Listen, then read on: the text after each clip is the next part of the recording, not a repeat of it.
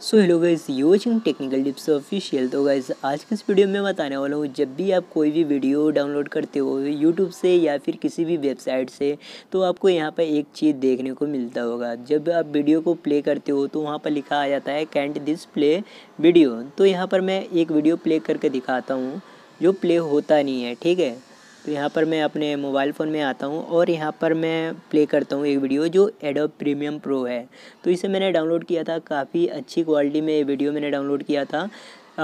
Seven twenty P seven twenty P पर मैंने इसे डाउनलोड किया था, लेकिन इसे क्लिक करता हूँ प्ले करता हूँ तो यहाँ पर प्ले जब करता हूँ तो यहाँ पर लिखा आ जाता है can't play this video this video can't be played on your device तो यहाँ पर ये इस मतलब इसमें जो वीडियो प्लेयर होता है बाई डिफ़ॉल्ट जो पहले से होता है, उस उस वीडियो प्लेयर से डाउनलोड नहीं मतलब प्ले नहीं होता है।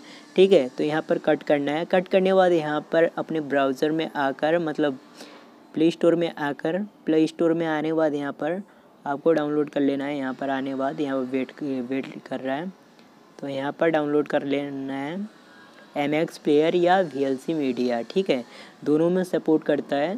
ज़्यादातर अच्छी क्वालिटी मतलब कोई वीडियो सपोर्ट करता है V L C V L C player में, और मैं यहाँ पर एम एक्स प्लेयर में डाउनलोड करता हूँ। तो यहाँ पर आप देख सकते हो, यहाँ पर मैं इसे डाउनलोड कर कर रखा हूँ और मैं चलता हूँ उस वीडियो पर, ठीक है? तो यहाँ पर उस वीडियो पर मैं क्लिक करने बाद यहाँ पर इस पर क्लिक कर कर मोर पर जाने बाद इसे ओपन इन अनदर ऐप पर क्लिक करता हूँ, ठीक है? क्लिक करने के बाद यहाँ पर ओपन आ जाता है तो यहाँ पर ऊपर एम एक्स प्लेयर लिखा है तो इस पर मैं क्लिक करता हूँ। यहाँ पर आप देख सकते हो इजीली प्ले हो जाता है, ठीक है? तो यहाँ पर इजीली यहाँ पर प्ले हो जाता है। यहाँ पर आप देख सकते हो, थोड़ी सी लोडिंग लेगी।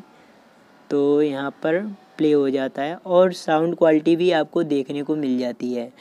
तो ये वीडियो मैंने इसलिए नहीं चलाया कि अभी ज़्यादा चला दूँगा तो मुझे कॉपीराइट मिल सकता है। तो इसीलिए ये वीडियो आपको अच्छी लगी हो तो वीडियो को लाइक कर देना, चैनल पर नए हो तो चैनल को सब्सक्राइब कर देना, साथ में बेल आइकन प्रेस कर देना, क्योंकि यहाँ पर टेक्नोलॉजी से रिलेटेड वीडियो मिलती रहती है। तो चलिए मिलते हैं नेक्स्ट वीडियो में।